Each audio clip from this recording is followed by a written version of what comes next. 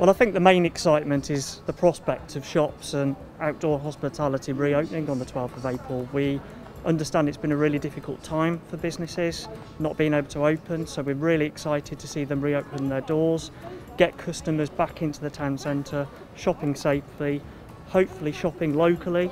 Uh, we encourage people to come in, spend money, uh, and, and help make the town centres a vibrant place.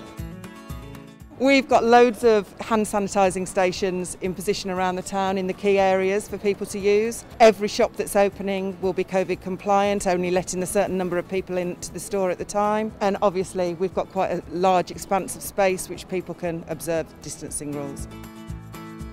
We'd just like to reassure people that you know you're perfectly sh safe shopping with us. We make sure everybody's safe. We ensure that people are coming in with masks on and having sanitised as well. It's really important that we support those customers and make them feel safe.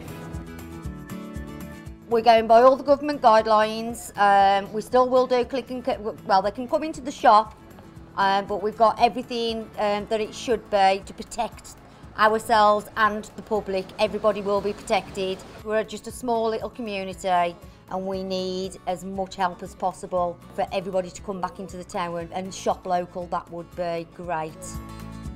Uh, regards to exciting things, um, I mean, opening up on the 12th is really exciting. We've, luckily, we've got a big enough beer garden, so we are really excited to open. We've got everything in place, all the measures in place, all the seating plan in place.